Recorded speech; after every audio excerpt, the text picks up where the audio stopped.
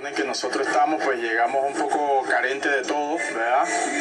Careciendo con muchas necesidades y bueno, siempre bienvenido es este, una, una ayuda. Eddie es uno de los más de 25 mil migrantes que son atendidos anualmente en las nueve casas del migrante. Nos han ayudado, nos han colaborado con refresco, con pan, porque estamos de bajos recursos económicamente. Las reformas a la ley de migración en vigencia desde finales de 2022 ahora exigen que se reporte la identidad de los albergados.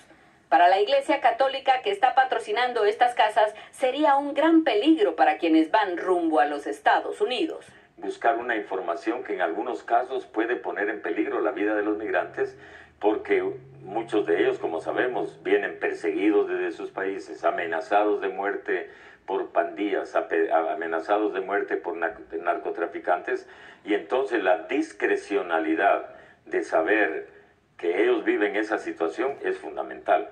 Una preocupación que el Instituto de Migración de Guatemala dijo estar consultando. La autoridad migratoria lo pasó al tema jurídico donde estamos analizando y viendo las situaciones que ellos específicamente nos están reportando. La reforma además castigará con prisión a quienes alberguen a migrantes irregulares, algo que según quienes trabajan en estas casas que están en proceso de renovar sus permisos, podría llevar su cierre con consecuencias lamentables. Se verían afectados, dormirían en las calles, eh, algunos ni comerían o pasarían precariedades.